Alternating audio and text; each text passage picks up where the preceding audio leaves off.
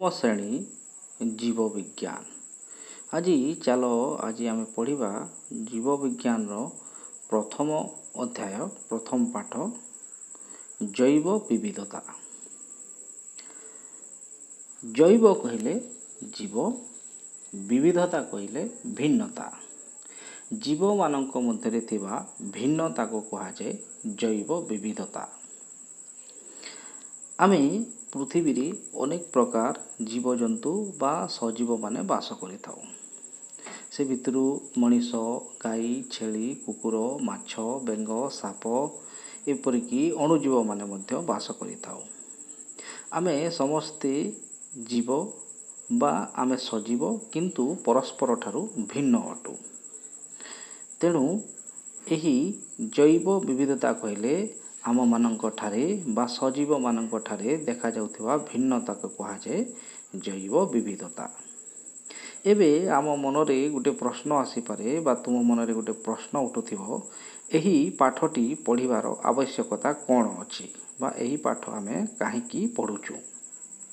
ଏହାର ଗୋଟେ ସାଧାରଣ ଉତ୍ତର ହେଲା ଯେହେତୁ ଆମେ ମଣିଷମାନେ ସମସ୍ତ ଜୀବଜନ୍ତୁମାନଙ୍କ ଠାରୁ ଫାଇଦା ହାସିଲ କରିଥାଉ ବା ଆମର ଲାଭ ହାସିଲ କରିଥାଉ ବା ସେମାନେ ଆମର ବିଭିନ୍ନ ପ୍ରକାର କାମରେ ଆସିଥାନ୍ତି ତେଣୁ ଏଇ ଜୈବ ବିବିଧତା ପାଠଟି ଆମକୁ ପଢ଼ିବା ପାଇଁ ନିହାତି ଦରକାର ଯେପରିକି କିଛି ପ୍ରାଣୀଙ୍କ ଠାରୁ ଆମେ ମାଂସ ପାଇଥାଉ କିଛି ପ୍ରାଣୀଙ୍କ ଠାରୁ ଆମେ ଅଣ୍ଡା ପାଇଥାଉ କିଛି ଜୀବଜନ୍ତୁ ବା ବୃକ୍ଷଲତା ଠାରୁ ଆମେ ଔଷଧ ପାଇଥାଉ। ତେଣୁ ସେମାନଙ୍କ ବିଷୟରେ ଆମେ ଯଦି ନ ଜାଣିବା ତାହେଲେ ଆମେ ଅସୁବିଧାର ସମ୍ମୁଖୀନ ହୋଇପାରିବା। ଯେପରିକି କିଛି ଉଦ୍ଭିଦକୁ ଆମେ ଖାଦ୍ୟ ଆକାରରେ ଗ୍ରହଣ କରୁ କିନ୍ତୁ ସବୁ ଉଦ୍ଭିଦକୁ ଆମେ ଖାଦ୍ୟ ଭାବରେ ଗ୍ରହଣ କରିପାରିବା ନାହିଁ। କିଛି ସେ ମଧ୍ୟରୁ ବିଷାକ୍ତ ବି ହୋଇପାରନ୍ତି। ତେଣୁକରି ଯଦି ଆମେ ସେମାନଙ୍କ ବିଷୟରେ ଜାଣିଥିବା ତାହେଲେ ତାହା ଆମର କାମରେ ଆସିବ। ଏବେ ଭିନ୍ନତା କିପରି ଭାବରେ ବା ବିବିଧତା କହିଲେ କ'ଣ? ଆମେ ସମସ୍ତେ ଅଲଗା ଅଲଗା। ଯେପରିକି ଗାଈ ମଣିଷ ଠାରୁ ଅଲଗା ମଣିଷ ଛେଳି ଠାରୁ ଅଲଗା ଛେଳି ଗଛପତ୍ର ଠାରୁ ଅଲଗା। ତ ଏହା ହେଲା ବିବିଧତା।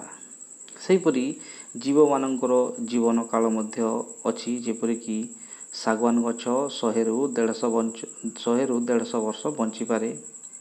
କିନ୍ତୁ କୋଲକାତାରେ ଥିବା ବଟାନିକାଲ ଗାର୍ଡ଼େନରେ ଯେଉଁ ବରଗଛଟି ଅଛି ସେ ଦୁଇଶହ ବର୍ଷରୁ ଅଧିକ ସମୟ ବଞ୍ଚିବାର ପ୍ରମାଣ ରହିଛି। ସେହିପରି ରଙ୍ଗ ମଧ୍ୟ ଅଲଗା ଅଲଗା। ଶୁଆ ଶାଗୁଆ ହୋଇଥାଏ ତା'ର ନାଲି ଥଣ୍ଟ ଥାଏ। ଶୁଆଠାରୁ ମୟୂର ମଧ୍ୟ ଅଲଗା। ଏହିସବୁ ଭିନ୍ନତାକୁ କୁହାଯାଏ ବାୟୋଡାଇଭର୍ସିଟି ବା ଜୈବ ବିବିଧତା। କିଛି ଜୀବ ଅଛନ୍ତି ଯେଉଁମାନଙ୍କୁ ଆମେ ଖାଲି ଆଖିରେ ଦେଖିପାରୁ ନାହୁଁ ସେମାନଙ୍କୁ ଆମେ ମାଇକ୍ରନ୍ ବା ମାଇକ୍ରୋମିଟର ସାହାଯ୍ୟରେ ଆମେ ତାଙ୍କୁ ମାପିଥାଉ। କିନ୍ତୁ ଆଉ କିଛି ବିଶାଳକାୟ ଜୀବ ଅଛନ୍ତି ଯେପରିକି ତିମି ମାଛ ହେଲା ତାହାକୁ ଆମେ ମିଟର ସାହାଯ୍ୟରେ ମାପିଥାଉ।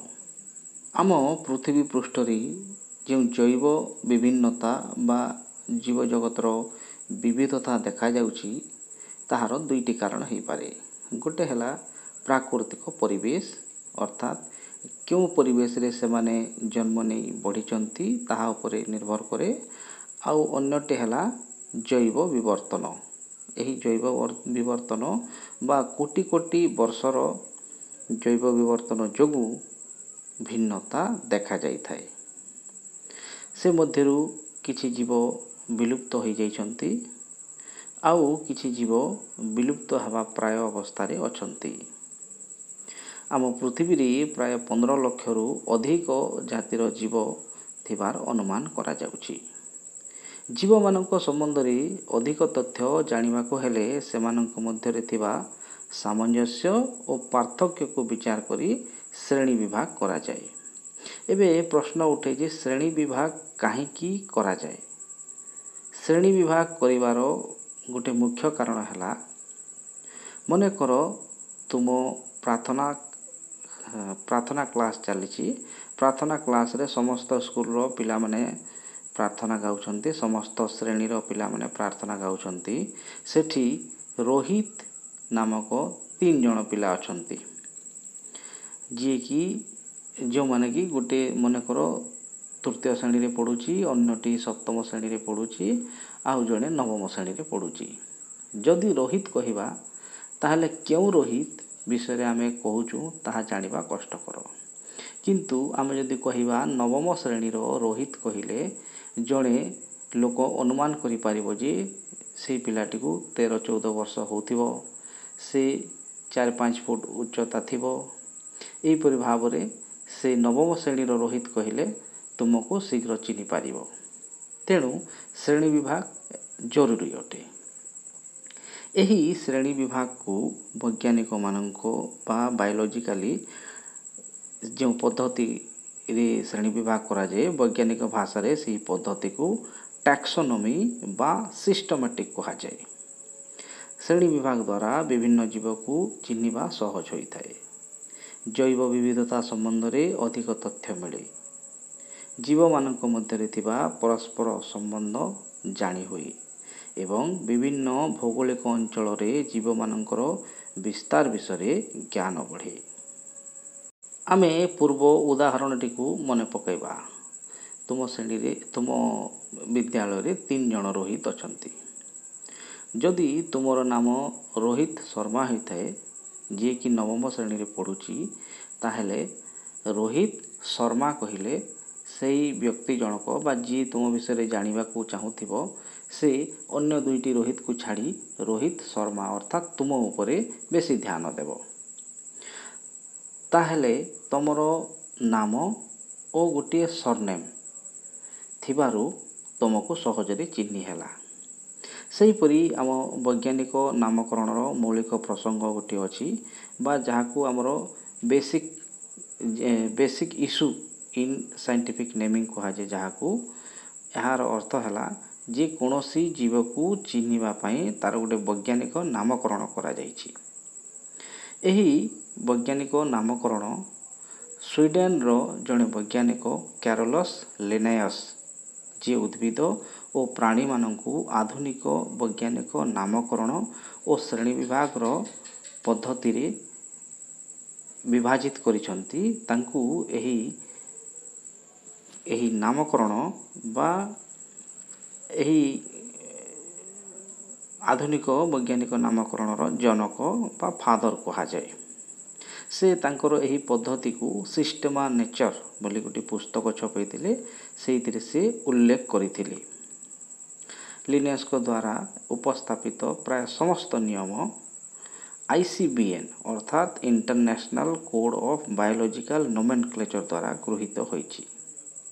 ଏହି ଶ୍ରେଣୀ ବିଭାଗ ପଦ୍ଧତି ଅନୁସାରେ ସବୁଠାରୁ କ୍ଷୁଦ୍ରତମ ବିଭାଗକୁ ଜାତି ବୋଲି କୁହାଯାଏ ବା ସ୍ପେସିସ୍ ବୋଲି କୁହାଯାଏ କୌଣସି ଏକ ଜାତିରେ ଅନ୍ତର୍ଭୁକ୍ତ ସମସ୍ତ ଜୀବ ସର୍ବୋତ୍ତ ଭାବେ ଏକାପରି ଆଗକାଳରେ ଜୀବଜଗତର ଶ୍ରେଣୀ ବିଭାଗ ପାଇଁ ମୁଖ୍ୟତଃ ବାହାରର ଲକ୍ଷଣ ବା ବାହ୍ୟ ଲକ୍ଷଣ କଥା ବିଚାର କରାଯାଉଥିଲା କିନ୍ତୁ ଆଧୁନିକ ଶ୍ରେଣୀ ବିଭାଗ ପଦ୍ଧତିରେ ବା ଆମ ଲିନାଏସ୍ଙ୍କ ପଦ୍ଧତିରେ ଜୀବର ବାହ୍ୟ ଲକ୍ଷଣ ଗୁଡ଼ିକ ସହିତ ତା'ର ଶାରୀରିକ କ୍ରିୟା କୋଷ ବିଜ୍ଞାନ ଓ ଭ୍ରୂଣ ତତ୍ତ୍ୱ ଏହିସବୁ ବିଷୟକୁ ବିଚାରକୁ ନିଆଯାଇଥାଏ।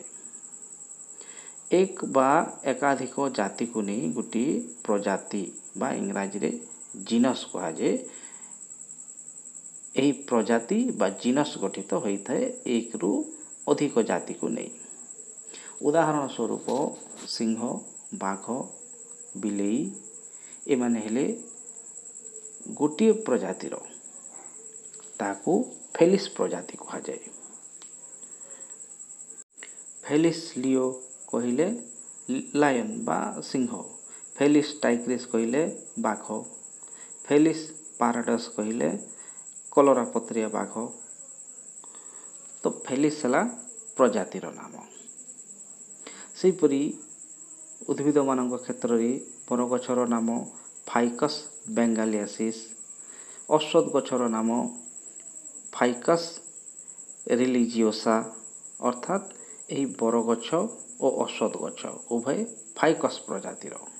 ସେହିପରି ମଣିଷର ବୈଜ୍ଞାନିକ ନାମ ହେଲା ହୋମୋସାପିଏନ୍ସ ଲିନିୟସ୍ଙ୍କ ପ୍ରବର୍ତ୍ତିତ ଦ୍ୱିପଦ ନାମକରଣ ପଦ୍ଧତିକୁ ବାଇନୋମିଆଲ ନୋମେନକ୍ଲେଚର କୁହାଯାଏ।